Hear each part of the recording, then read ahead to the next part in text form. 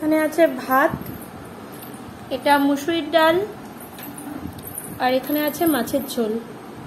এটা কাতলা মাছ।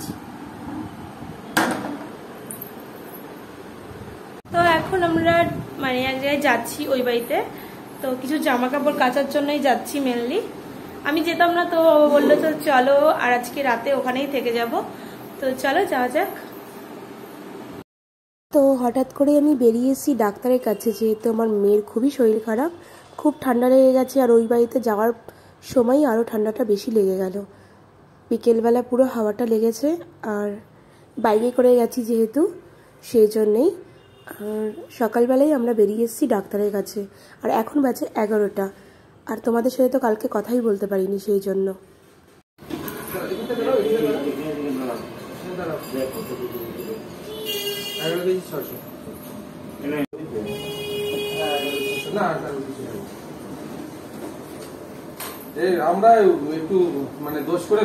তো বাড়ি এসে আমি রান্নাটাও করে নিয়েছি, তোমাদেরকে দেখিয়ে দিই। এই যে মাছের ঝোল, ফুলকপি দিয়ে করেছি। এটা রুই মাছ, আর এই যে ও খাচ্ছে এখানে, আর আমিও বসবো খেতে, যেহেতু দুপুর হয়ে গেছে, তো সকালে সেইভাবে খাওয়া হয়নি ডাক্তারের কাছে যাওয়ার জন্য। তো চলো এখন খেয়ে নিই। আর পাতাতেই খাচ্ছি, খুব ভালো লাগে আমার।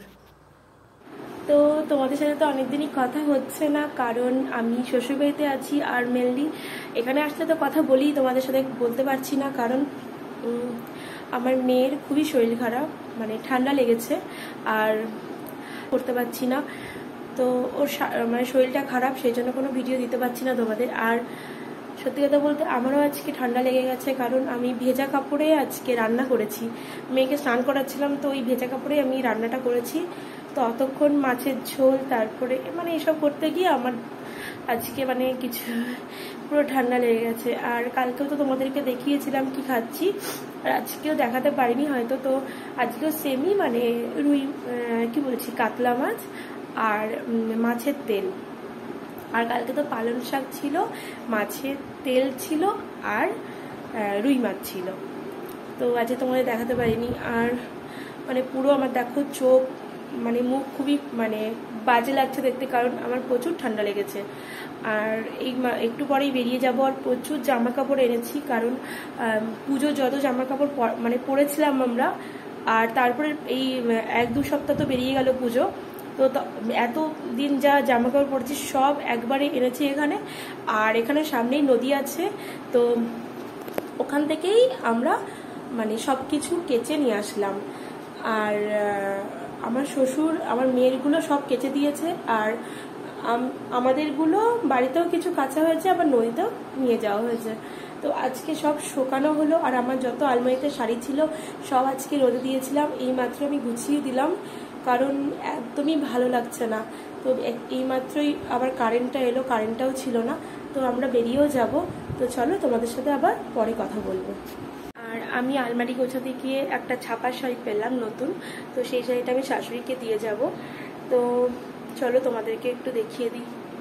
তো এই যে শাড়িটা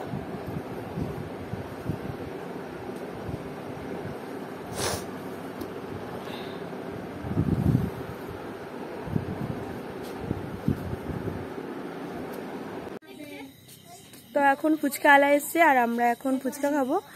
তো ভাত খেয়ে নিয়েছি, কারণ বাড়ি যাব বলে। তবুও দশ টাকার দিকে খাওয়া মানে খাব। খাওয়াই হয় না ফুচকাটা। বড় বড় কানের পড়েছে, আর বিয়ে হয়ে গেছে, ও মঙ্গলসূত্র পড়েছে, আর এটা সেজেছে। তো চলো যা যাক। ওই যে ফুচকার গাড়ি। আচ্ছা ফুচকা খেতে? সাত।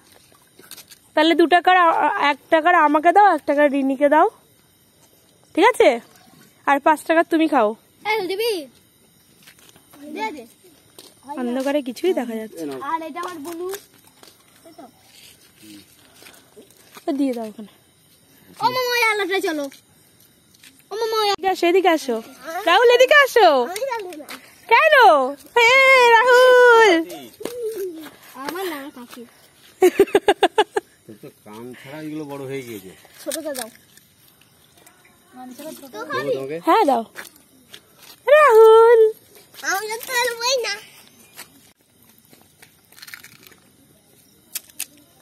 তো এখন আমরা বেরিয়ে যাচ্ছি আর এখন বাজে আটটা। আটটা বাজে আর এখন আমরা বেরিয়ে যাচ্ছি আর বাবা পড়ে গেল? তো চলো যাওয়া যাক। সব ব্যাগপত্র গুছিয়ে নিয়েছি যেহেতু বাইকে যাব তো সেই জন্য এই ব্যাগগুলোই ইউজ করি আমি তো নিতে সুবিধা হয়। আর কালকে ওটাকেও ধোয়া হয়েছে এখনও শুকোয়নি দেখো। পুরো ছিঁড়ে গেছে এই অবস্থায় আছে এখন। কুট্টুস তো এই যে আমার ঘর পুরো পরিষ্কার করে দিয়ে গেলাম কারণ আবার কবে আসব? জানি না সেই জন্য। আর যে ড্রেসিং টেবিলটা দেখতে পাচ্ছ ঢেকে দিয়েছি কারণ এটা ধুলো পড়ে ইউজ হয় না বলে তার জন্য।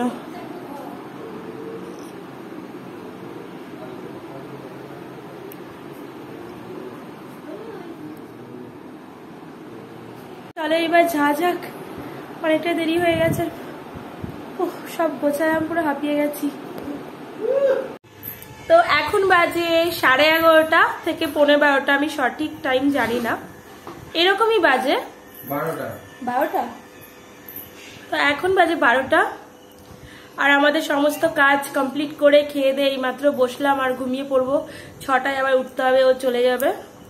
আর কিছু জামা তো শুকোয়নি তো আমরা মেলে দিয়ে আসলাম ছাদে।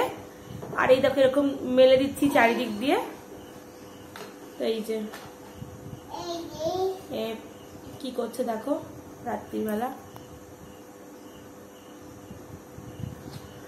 তো, আমার গলার অবস্থা খুব খারাপ খুব খারাপ। পুরো এই অবধি মানে জ্বলছে আর ব্যথা করছে এখানে। তো ঠিক আছে, চলো। গুড নাইট আর আজকের ব্লগটা যদি আমার ভালো লেগে থাকে, তো সাবস্ক্রাইব করে দিও লাইক করে দিও। টাটা। গুড নাইট আবার নেক্সট ব্লগে দেখা হবে।